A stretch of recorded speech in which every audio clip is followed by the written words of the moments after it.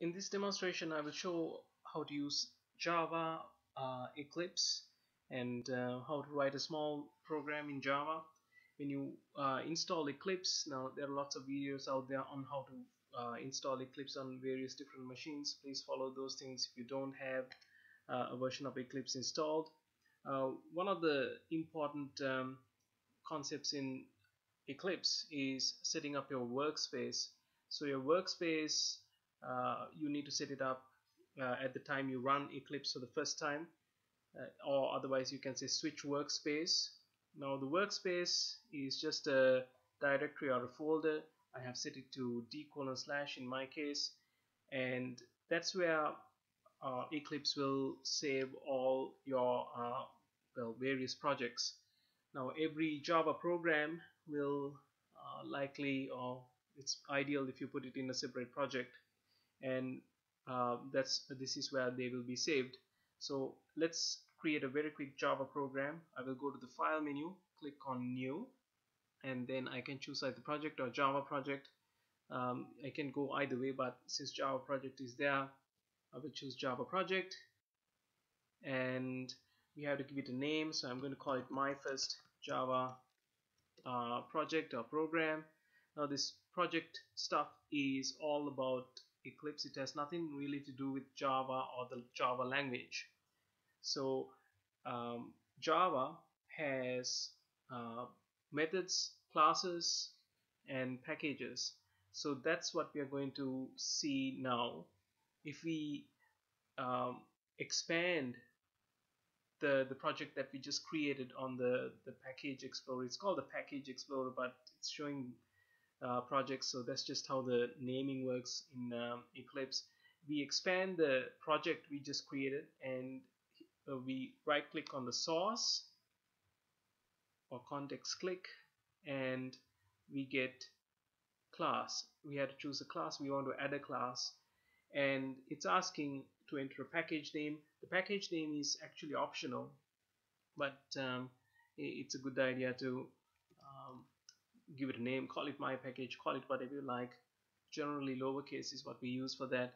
And for the class name um, so the class is um, like a blueprint we say and uh, every Java program needs to have at least one class.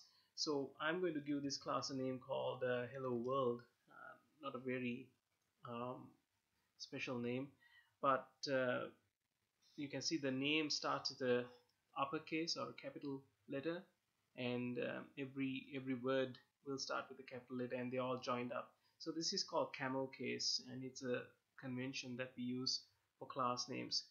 And you might also want to click on this public static void main string args and that'll just add a few uh, lines of code that'll make it a little bit easier to get started on everything.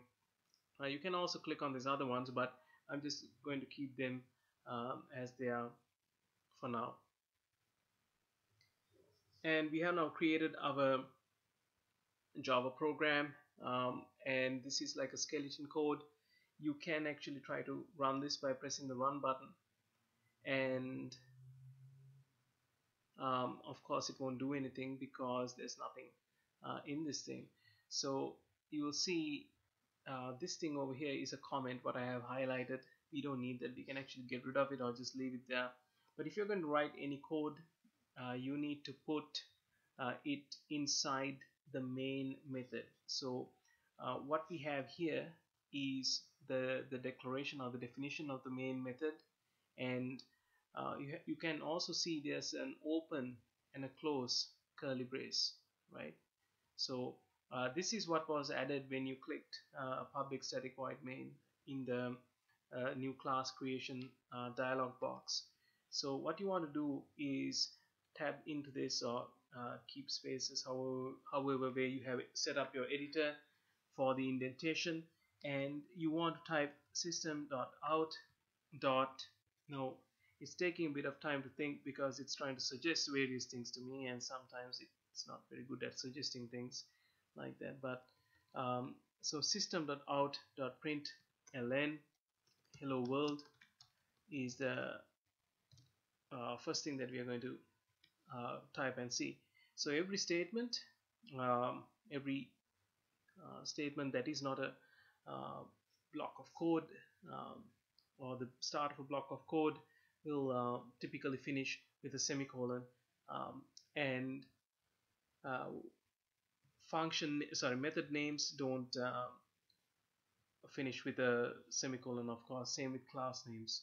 So if it's just a single line of code by itself uh, it'll uh, very likely well it's going to finish with a semicolon. So now I can run this by pressing the play button and now it's asking me uh, select the resources to save. I can click always save resources before launching and it won't ask me this again it'll automatically save and run. So and there you go. So down here is the place where you get uh, the output that's like the the console window so let's do a few uh, more things. Now I can um, create a string uh, called word1 and I will assign hello to it. And I'll create another one word2 uh, and that's called world. So I can do like this. I can say uh, word 1 plus word 2 that's some concatenation that we are doing there now I missed a semicolon you can see it put a red underline there right? So by putting a, a plus in between two strings or two text um, or string literals uh, it will be joined up. It's not going to be added like in mathematics. So th this is going to be printed without a space in the middle. And um, you can see it will be joined up.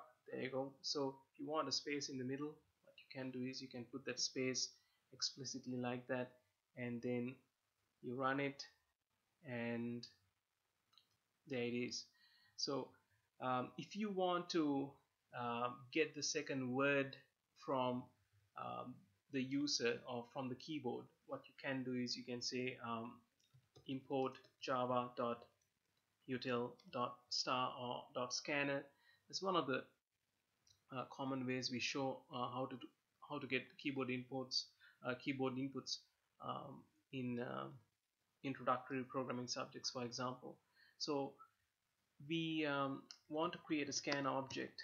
Now you, uh, you can give it any name you like um, and I will explain which part I'm referring to when I say any name.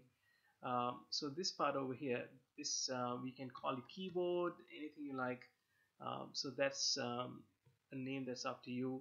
That's an object name so what we want to do next is when we say word 2 instead of saying world I, I want to get um, an input from the keyboard. So I can say keyboard dot um, keyboard dot next line because it's a string that we're getting. So um, that's okay but the only issue is it um, it will not tell me uh, what to enter. So if I don't know what this program is uh, I will not know that it's waiting for some keyboard inputs. So I'm going to say uh, enter your name. Right. so then I will say enter your name get the keyboard input and store it in word2 and then print the things out. So let's try to run this. And there are some warnings here. I will get to that in a second. So it will work but can be made better. So the first issue that or first um, not so nice thing is uh, when you have to um, enter uh, a value it will you will have to first of all you'll have to click here to get the focus to the console because that's where you enter the values. And then you have to enter your name um, let's call it let's say it's Smith your name uh, it's entered immediately below the line. That's because we used print over here so that we can change to print. Uh, sorry we, we had to use print instead of print ln and then we hit hit enter and then it'll say hello Smith so it's just a, a cosmetic thing. It wasn't an important thing. The other issue is uh, that warning that I mentioned. So over here there is a uh, yellow uh, thing saying there's a warning. If there's a resource leak keyboard is never closed. So it's always a good practice to um, free or let go of your resources.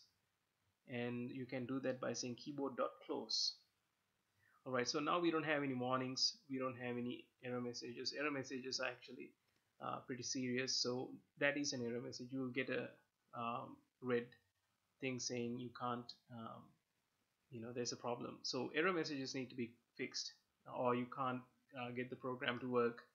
Uh, so uh, but it's very easy to fix error messages. Like I showed uh, there will be some red message um, and you just keep your mouse over it and it'll tell you um, at least where the problem is. Alright so uh, those are the some of the basic things that you can do in Java and this is more of a hello world thing. Uh, just a quick demonstration on uh, how to get things to work. I hope this was useful